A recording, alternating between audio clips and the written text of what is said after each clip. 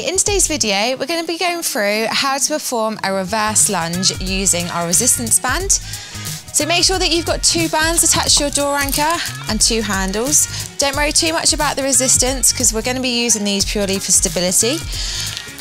Okay, so you're going to start with your feet hip width apart. We're going to concentrate on one leg at a time. So from here, pull your leg back. Make sure you've got your balance before you lunge down, keeping that body upright.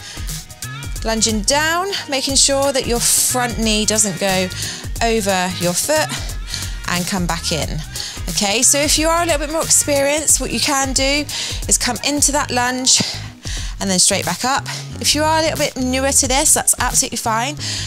Just pop your foot back, find your balance, then lunge down and come in.